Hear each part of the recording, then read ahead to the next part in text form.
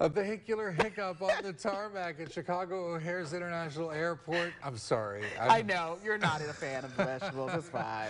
An out of control catering truck nearly hit an airplane yesterday. Oh my gosh. It's like my son when he drives. The American Oh. Airlines says the truck's accelerator got stuck.